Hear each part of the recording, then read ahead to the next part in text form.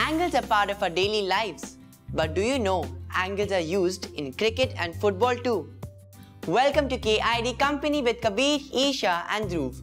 I am Azan and today we will learn Introduction to Angles, measuring an angle using a protractor, different types of angles, constructing an angle using a protractor. Let's go and learn how angles can be a part of our everyday sports.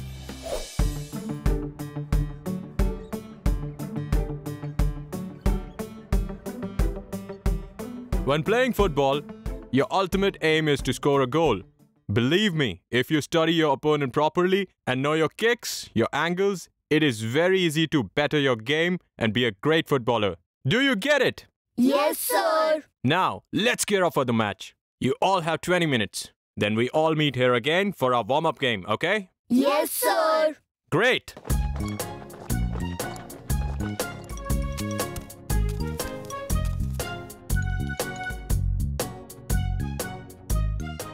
Coach. Yeah, but he's a great teacher. Sometimes I don't understand what he says. Hmm, he was saying something about angles. I wonder what that is. Ta-da! Of course, why fear? When Dhruv is here. What is it? Angles. If I'm not wrong. Yes, our coach was telling us about kicks and something about angles. How are they related? Every sport works on mathematical principles, especially angles. Let me explain. When two rays meet at one common point, an angle is formed. We can see angles formed by different objects around us. The hands of a clock. The arms of the divider in your geometry box. The edges of a table. The two rays which form the angle are called the arms of the angle. The common point where the rays meet is called the vertex of the angle. Look at these rays, AB and AC. They form an angle between them. So, both ray AB and ray AC are the arms of the angle. Point A is the vertex of the angle. This is the symbol used for an angle. Every angle is given a name. An angle can be named using three letters. The middle letter is always the vertex of the angle. We can name the given angle as angle BAC or angle CAB. The same angle can also be named by its vertex as angle A. The space between the arms of the angle is called the interior of the angle and the space outside the angle is called the exterior of the angle.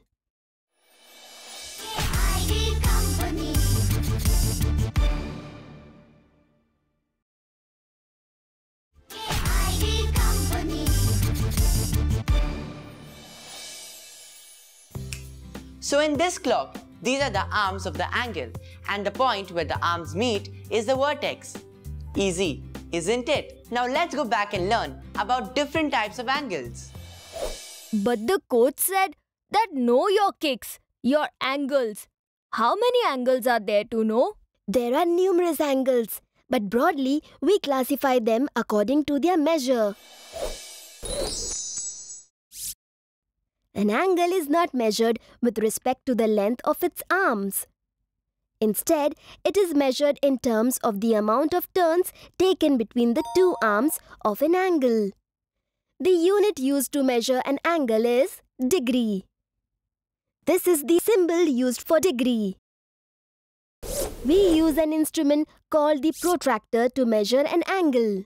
You can find it in your geometry box. The protractor has two sets of measurements written on it. These are called scales. There is an inner scale and an outer scale both having 0 degree to 180 degree in opposite directions. The midpoint of the baseline is called the center point. Let us measure the given angle, angle ABC, given here. Step 1. Place the center point of the protractor over the vertex B of the angle and place the baseline exactly over the bottom line of the angle. Step 2.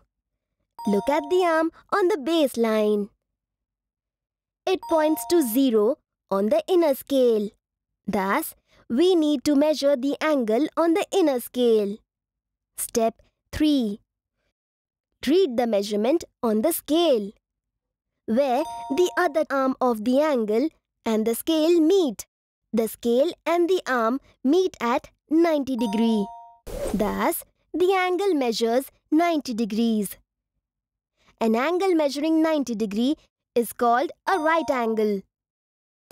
The capital letter L in the alphabet is one example of a right angle. The corners of your school blackboard also make a right angle. That's one type of angle. Let us learn about other types of angles. An angle whose measure is more than 0 degree but less than 90 degree is called an acute angle. Try to form a small V using your palms. It will form an acute angle. The hands of the clock at 2 o'clock, blades of a scissor are all examples of acute angles. An angle whose measure is more than 90 degree but less than 180 degrees is called an obtuse angle. The hands of a clock at 4 o'clock. The angle formed by the Japanese fan shown are examples of obtuse angles. An angle whose measure is 180 degree is called a straight angle. If two right angles are kept next to one another, they form a straight angle. A pencil or a pen, the edge of a ruler or the book are examples of straight angles. An angle which measures 360 degree is called a complete angle. When the arms of an angle takes one full turn, it is a complete angle. So when he says know your angles, he means He meant that if you lift the ball with your kick in a certain angle, it will drift into the goalpost in a certain way. oh. So what angle? Acute or obtuse? That depends on your position in the field. Oh. On paper, it is very easy to make these angles. Like if you want to draw an obtuse angle measuring 120 degrees, you first draw a ray. Let us draw a ray AB. Place the center point of the protractor on point A, such that the baseline of the protractor lies exactly on ray AB. Find the division of 120 degrees along the scale whose 0 degree mark lies on ray AB. Mark a point against the measure and name it C. Remove the protractor and draw a ray from the vertex A through point C using a ruler. Thus, we have angle CAB measuring 120 degrees.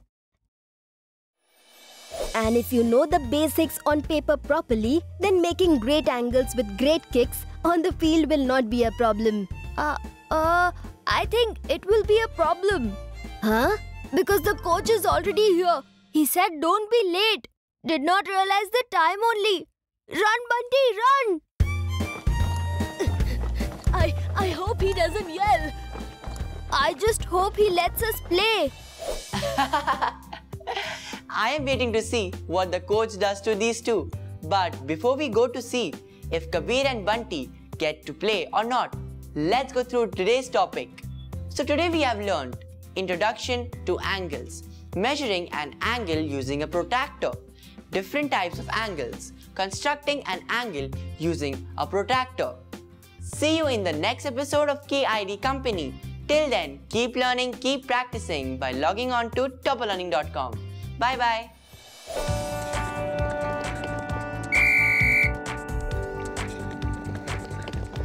Yes, sir. Four more rounds. Buck up. Yes, sir. Uh, uh, I'll always be on time for sports hour.